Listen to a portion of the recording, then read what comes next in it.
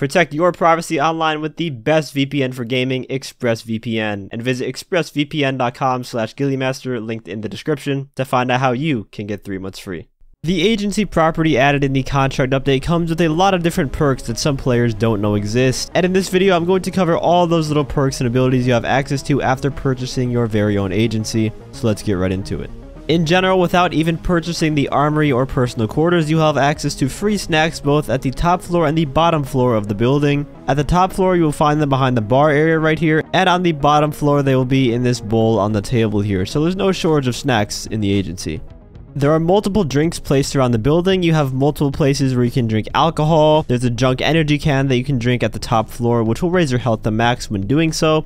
Behind the counter, there's also a pink colored drink called Limey's Juice. It's basically the green juice from the other apartments, except it's pink instead, and this one also refills your health. The vending machine you can of course use to drink even more junk energy, except you will have to pay for it so you might as well just use the drink on the counter there. There's a room with a bong you can use that also has some alcoholic beverages, there's really no shortage of drinks either. If Chop is in Franklin's office, you are able to walk up to him and pet him, and there's actually a reward that you get for doing this. A lot of the time, though, he's not going to be there for you to pet him, which is unfortunate because if he is in any other place besides in Franklin's office, it doesn't seem like you can pet him. Now, if you purchase the personal quarters upgrade, you'll be able to set this as your spawn location, use the wardrobe, shower, bed, and pretty much everything that any other apartment or property that has a personal quarters upgrade.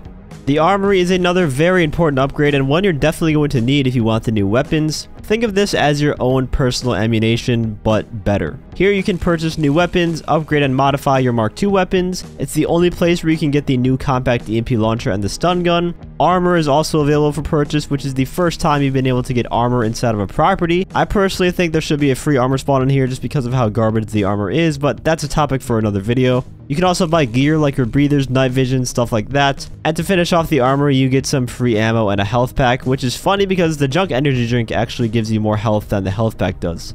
Moving down to the first floor now, we have the agency services where you can request a vehicle to spawn outside in to drive away quickly and seamlessly.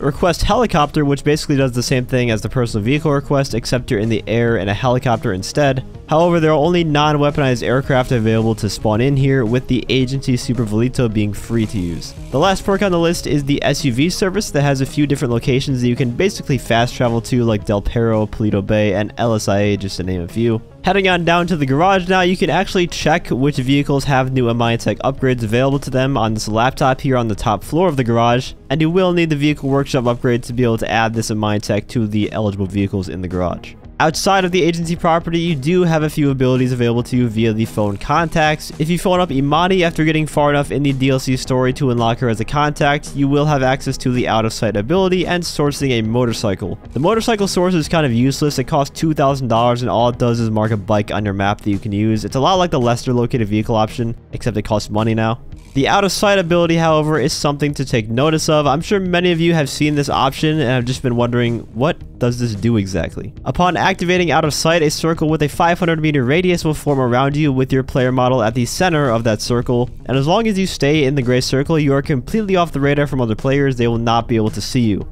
Unlike the other off-radar abilities that have a timer on them, this lasts forever, but there is a catch. The moment that you engage in combat with any other player, the ability ends. Even the smallest form of damage you inflict on another player will end the ability.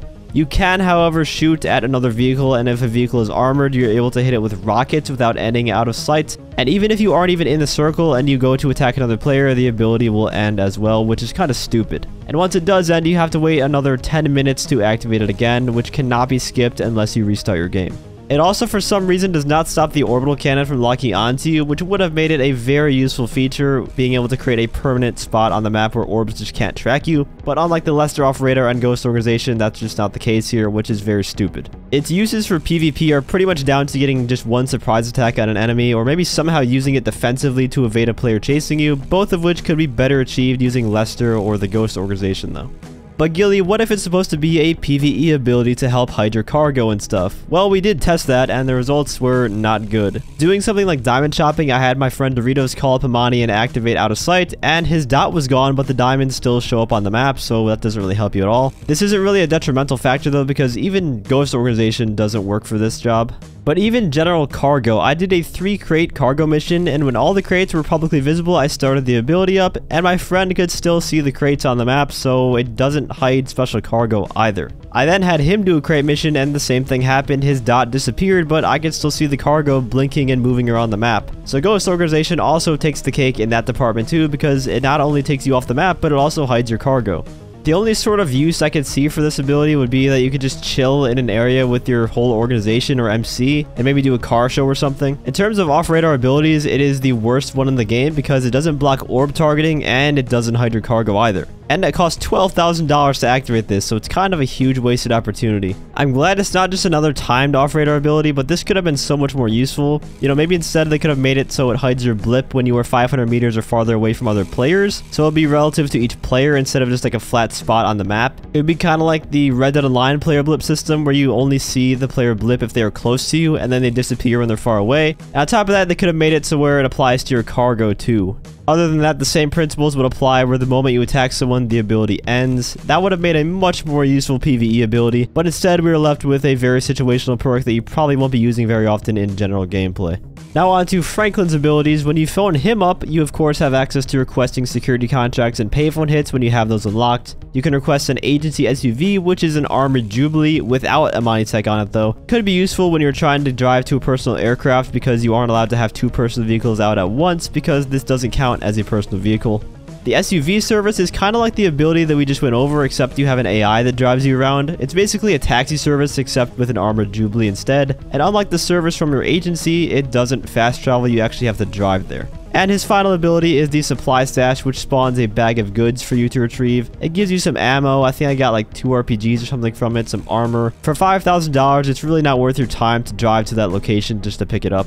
But guys, that is all of the perks and bonuses that you have access to by owning an agency. I want to give a huge thank you to my friend My Doritos for helping me record and test for this video. And I do hope this video cleared some things up, especially about the out of sight ability. I haven't seen too many people talking about that, probably because it uh, it's not that good of a perk. If you enjoyed the video or you did find it helpful, feel free to leave a like as well as subscribe to my channel for more content. I want to give a huge shout out to all my channel members for your support. If you'd like to become a member for some exclusive perks, you can either use the join button or the link that's down in the description. And as always, thanks for watching and have a great day.